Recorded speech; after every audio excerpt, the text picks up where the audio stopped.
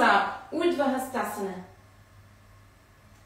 Then bring your hands together over there, bend your elbows, and as you exhale, hands to the chest.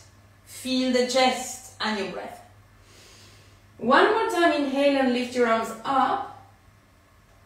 Bend your legs and come back down for Uttanasana. Hands to the floor, so you really need to bend your legs as much as you need to.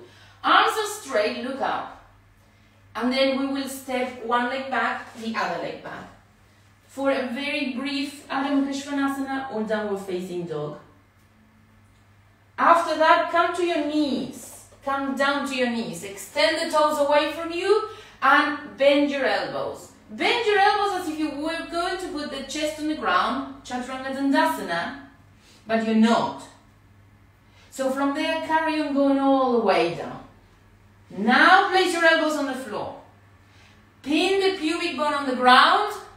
Look up. Press your forearms down and lift the chest.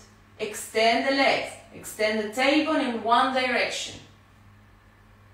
Okay, now go down with your trunk. Slide your hands back to the waist more or less. Turn the toes under. Come up.